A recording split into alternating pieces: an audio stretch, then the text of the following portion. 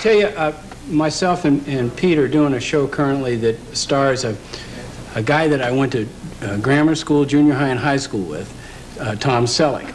oh, it's great, Magnum PI. Yes, and and um, that show is uh, the first show I've ever, uh, you know, been involved with where the star was somebody that was a, a long-time personal friend. So you wrote an extra good theme. Well, I tell you, to be honest with you, it was easier to write the theme because Tom is, I've known him so long, and really, uh, he's kind of playing himself on that show. Right. So uh, it's, it was a lot of fun, and it's probably going to be the next single that, that I'll release. And uh, this is just a little bit of Magnum.